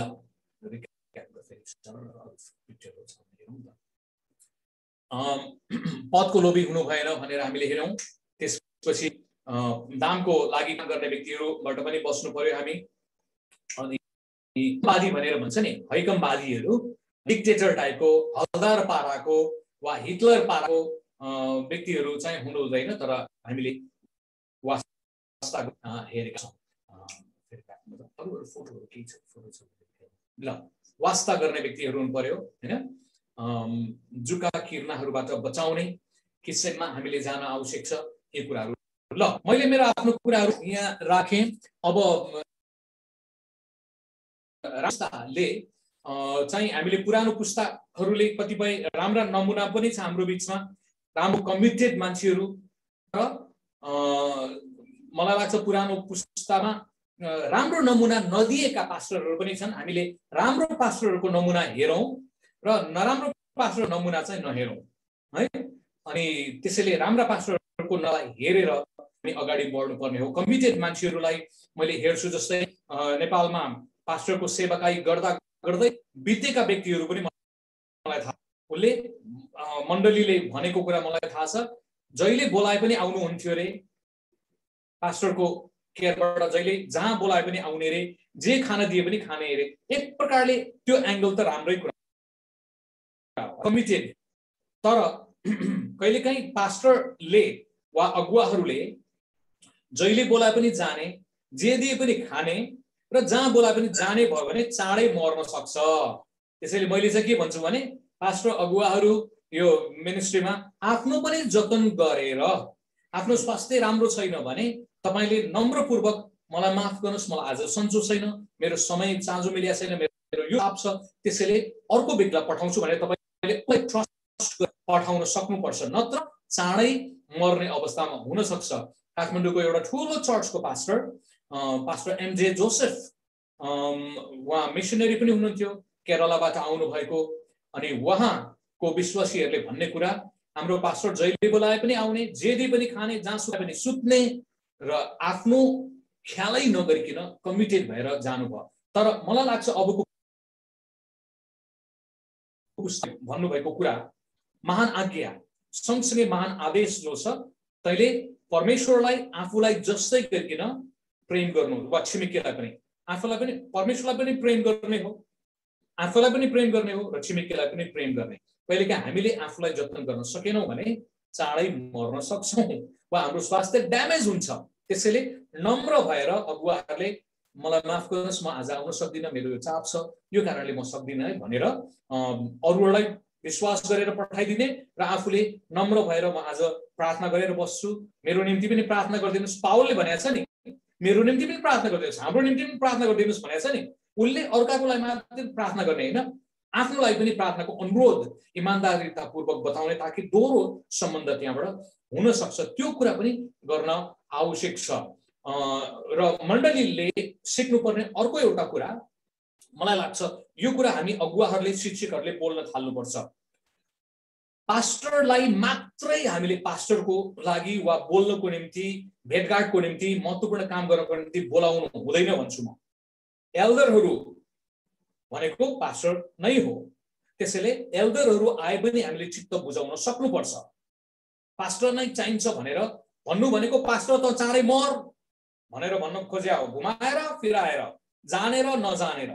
त्यसैले पास्टर बिमारी हुन्छ भने वा उसले सक्दैन भने एल्डरहरूको सेवाकाईलाई पनि हामीले स्वीकार गर्नु पर्यो टिमवर्कमा हामीले विश्वास गर्छौँ भने त्यसरी जानु पर्यो यो कुरा नेपाली मण्डलीमा गर्न आवश्यक छ। हामीलाई चाहिँ पास्टरले नै प्रार्थना गरिदिनुपर्छ भन्ने सोचाइ छ अनि पास्टर नै भेट्न आउनुपर्छ पास्टरले नै बिहा दिनुपर्छ पास्टरले नै गाड्नुपर्छ।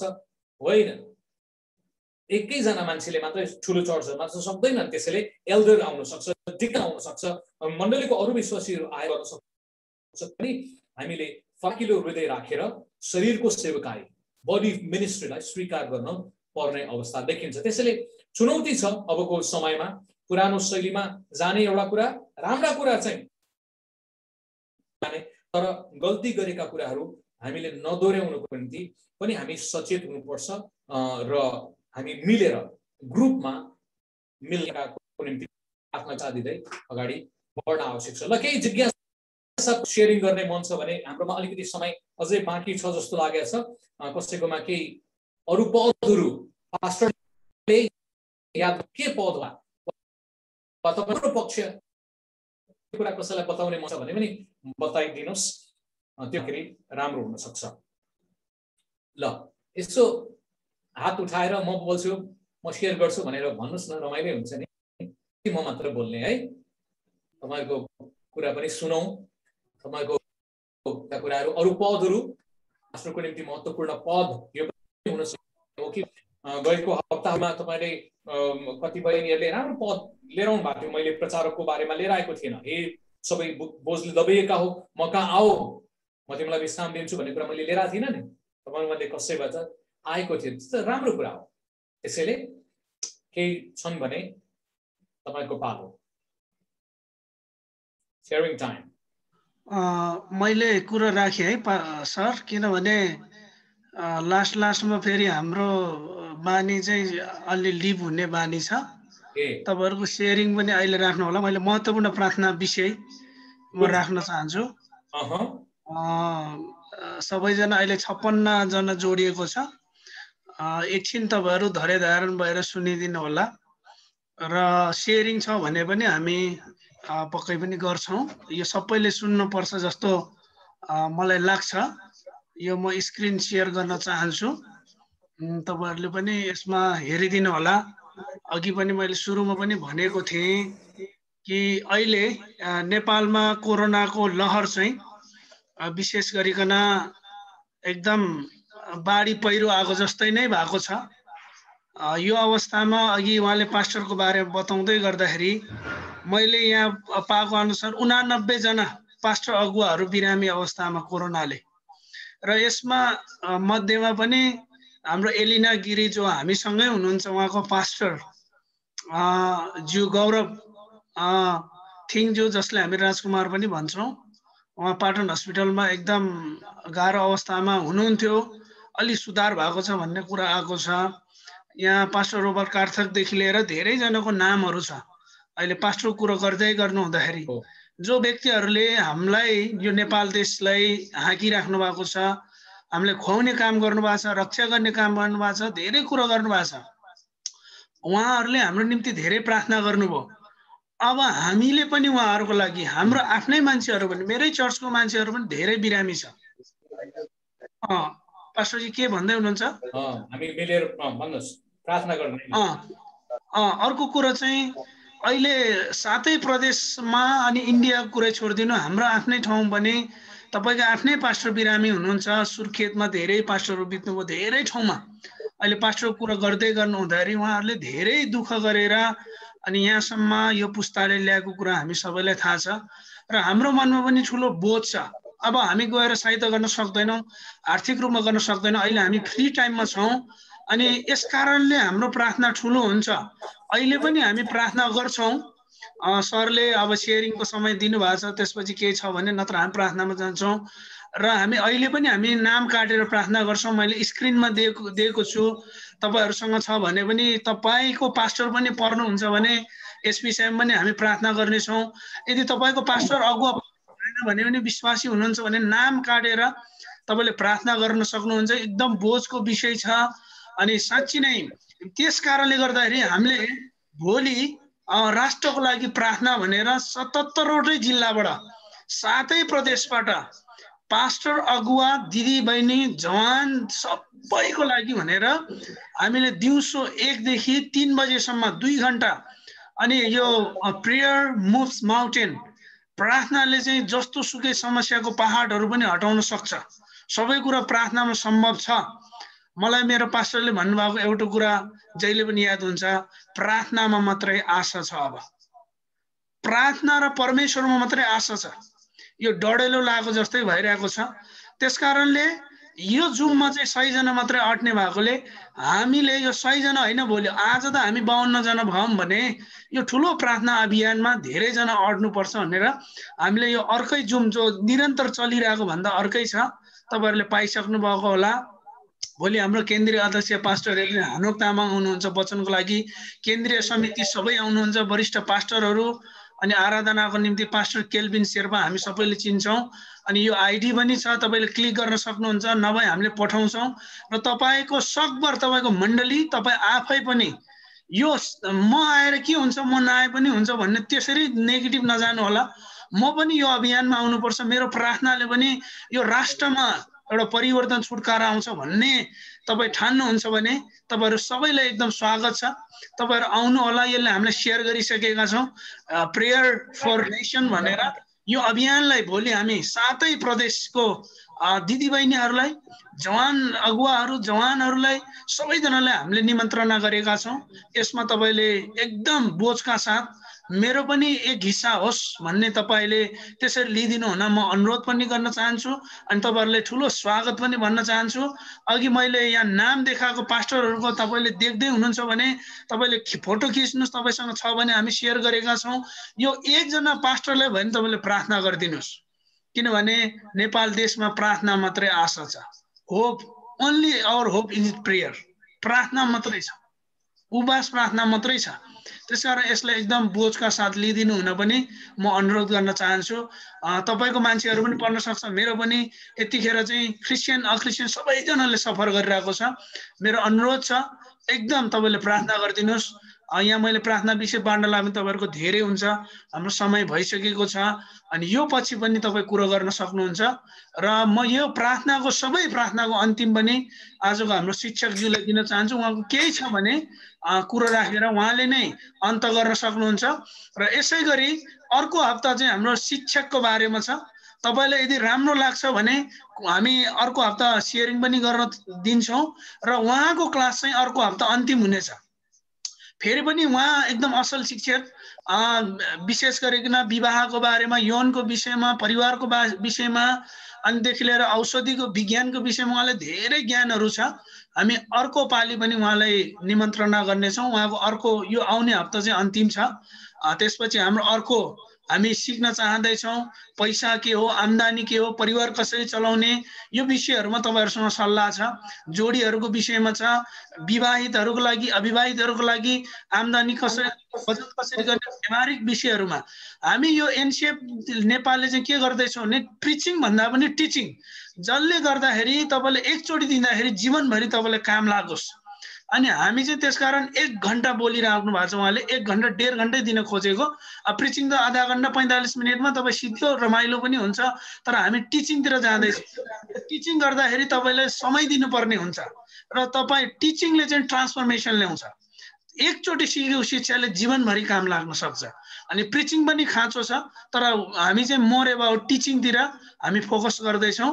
तपाईँहरूको सहभागी तपाईँको मण्डलीको सहभागी हामी चाहन्छौँ। यो विषयहरूको लागि पनि प्रार्थना गरिदिनु होला। मैले बाँकी समय चाहिँ हाम्रो पास्टरज्यूले नै दिन चाहेँ। अनि उहाँले लिनुहुन्छ उहाँले नै आज आमेन गर्नुहुन्छ। सरी तपाईँलाई यो समय।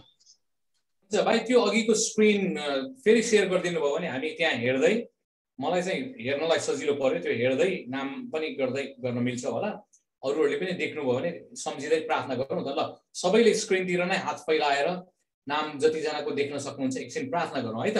सबैजना मिलेर प्रार्थना गरौँ। Hallelujah praise you lord magnify जे परमेश्वर पिता हामी तपाईँको चरणमा आउँछौँ। महामहिमको परमेश्वर। धन्यवाद छ हाम्रो बिचमा। तपाईँले पास्टरको हृदय भएका बगालको निम्ति मरिमेट्ने मान्छेहरू नेपाल देशको निम्ति मरिमेट्ने मान्छेहरू दिनुभएको छ।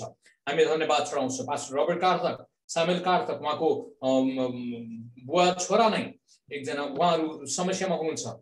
हामीले स्क्रिनमा धेरै नाम देखिराखेका छौँ। यी सबै नामहरू तपाईँको चरणमा लिएर आउँछौँ।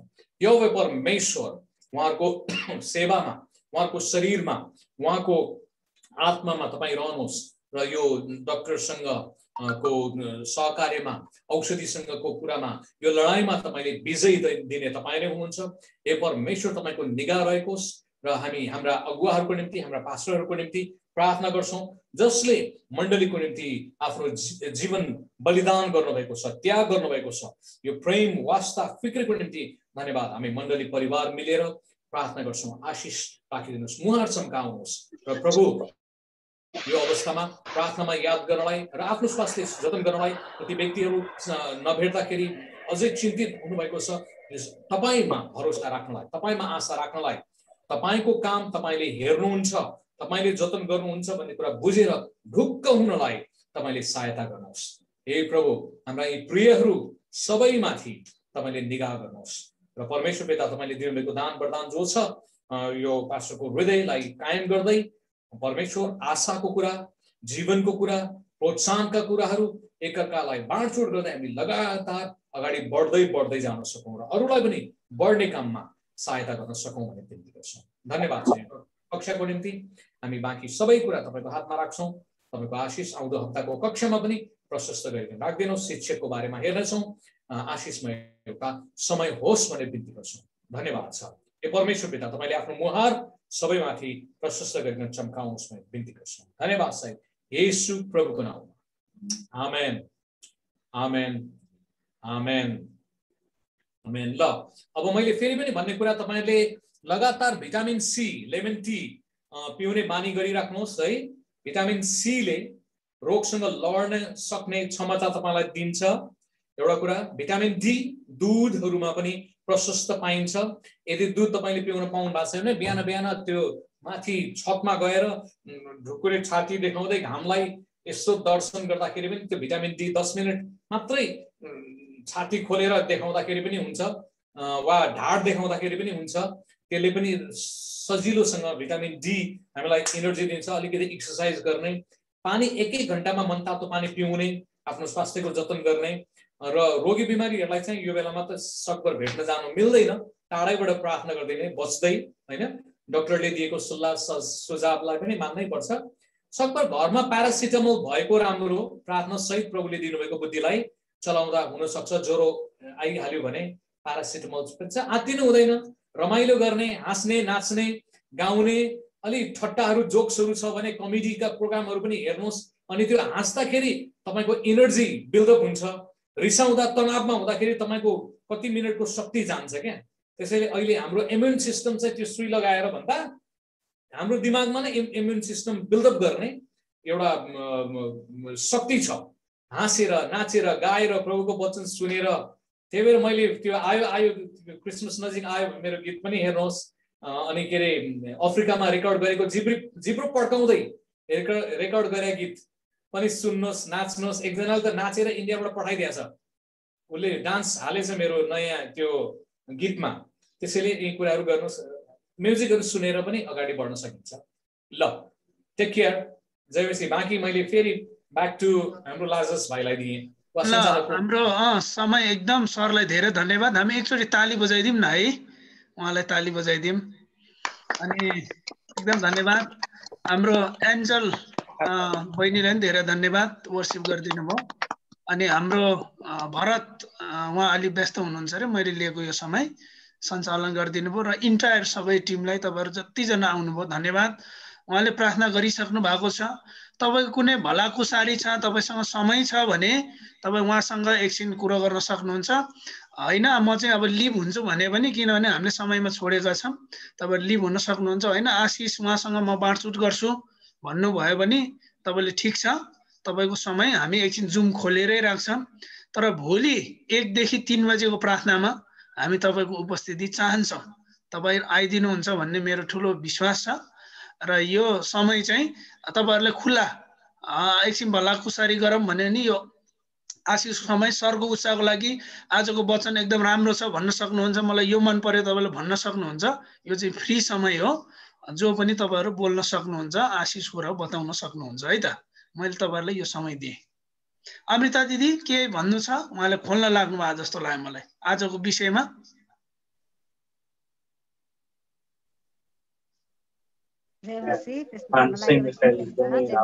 धन्यवाद हाम्रो पास्टरज्यूलाई। मैले पहिल्यै धेरै पहिलादेखि नै मैले चिनेको तिनीलाई चाहिँ मैले हेटौँडा मा रुबेन दाईको घरमा रुबेन राई दाईको घरमा मैले सुखदेव गिरी पास्टरज्यूलाई भेटेको थिएँ पहिला नै थुप्रै वर्ष अगाडि अहिले त धेरै वर्ष भइसक्यो अनि अहिले यसरी प्रत्यक्ष सँगसँगै बसेर कार्यक्रम गर्न पाउँदा सँगसँगै बसेर सिकेको जस्तो अनुभव भइराखेको छ एकदमै खुसी छु। ल एलिनाजी के छ? भतिजीको कुरा के छ? भतिजीको के पास्टर बिमारी हुनुभयो भने होइन? के अहिले हस्पिटलमा हो? हजुर हो हो अङ्कल। अनि उहाँलाई सास फेर्न गाह्रो परिरहेको जस्तो देखाएको थिएँ मैले पिक्चरमा। मैले हजुरलाई फोटो सेयर गराएको थिएँ नि अनि उहाँलाई एकदमै गाह्रो भएको छ अनि खास त भेन्टिलेटरमा राख्ने कुरा थियो अनि फेरि मैले हन गुरुबालाई पनि फोन गरेँ अनि एकदमै डरलाग्दो भयो गुरुबा त अब यस्तो यस्तो भन्छ अब मान्छे बोलिराख्नु भएको छ एकदमै मजाले बोलिराख्नु भएको छ अनि उहाँलाई चाहिँ बेहोस गराएर भेन्टिलेटरमा हाल्नुपर्छ भनेको छ अरे के हो त यो भनेर मैले फेरि लाजरसजीलाई पनि फोन गरेँ सोधेँ अनि फेरि उता हन गुरुबालाई पनि सोधेँ अनि गुरुबाले पनि आतिनु भयो त्यो बेहोस गराउनु भन्ने त कुरै हुँदैन नि। त्यो त एकदम नराम्रो कुरा हो। त्यो बोलिरहेको मान्छेलाई बेहोस गराउने कुरा त हुँदैन। म बुझ्छु एकचोटि नआतिनु है नआतिनु भनेर गुरुबाले त्यसो भन्नुभयो। अनि हिजो भेन्टिलेटरमा चाहिँ राखेको चाहिँ छैन प्रोसेसिङ चाहिँ गर्दै रहेछ। अनि त्यो भेन्टिलेटर आइसियुमा मेन आइसियुमा लानको लागि भेन्टिलेटर बुक गराउनु पर्ने छ अरे। अनि त्यही कुरा गर्दै हुनुहुन्थ्यो। नत्र भने